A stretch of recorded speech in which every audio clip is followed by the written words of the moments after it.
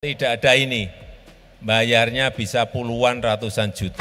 Presiden Joko Widodo mengeluarkan aturan baru BPJS Kesehatan. Dalam kebijakan baru itu, Jokowi menghapus sistem kelas 1, 2, dan 3 dan menggantinya dengan kelas rawat inap standar atau KRIS.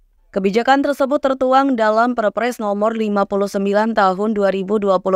Sebagai catatan, Perpres ini merupakan perubahan ketiga atas Perpres nomor 82 tahun 2018 tentang jaminan kesehatan. Kelas rawat inap standar atau KRIS adalah standar minimum pelayanan rawat inap bagi peserta Jaminan Kesehatan Nasional atau JKN. Berdasarkan aturan tersebut, semua rumah sakit yang bekerja sama dengan BPJS Kesehatan harus menerapkan fasilitas KRIS dengan ketentuan paling lambat tanggal 30 Juni 2025.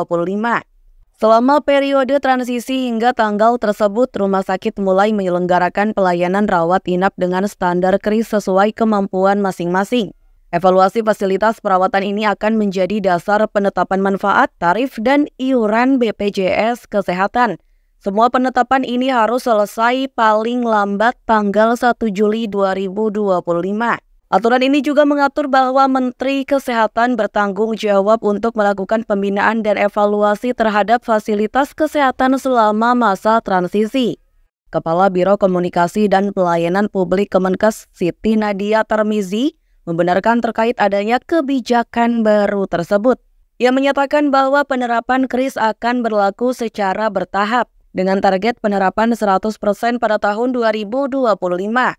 Sementara itu Menteri Kesehatan Budi Gunadi Sadikin menjelaskan tujuan penerapan aturan baru BPJS Kesehatan itu untuk meningkatkan kualitas pelayanan rumah sakit. Salah satu perubahan signifikan yang akan diterapkan adalah satu kamar rawat inap akan berisi satu tempat tidur dan dilengkapi dengan AC. Dengan adanya kebijakan kris ini, pemerintah berharap pelayanan kesehatan yang diberikan oleh BPJS Kesehatan akan lebih merata dan berkualitas tanpa memandang kelas layanan yang sebelumnya ada. Kebijakan ini juga dapat mengurangi kesesakan dalam ruang perawatan dan memberikan pengalaman yang lebih baik bagi pasien.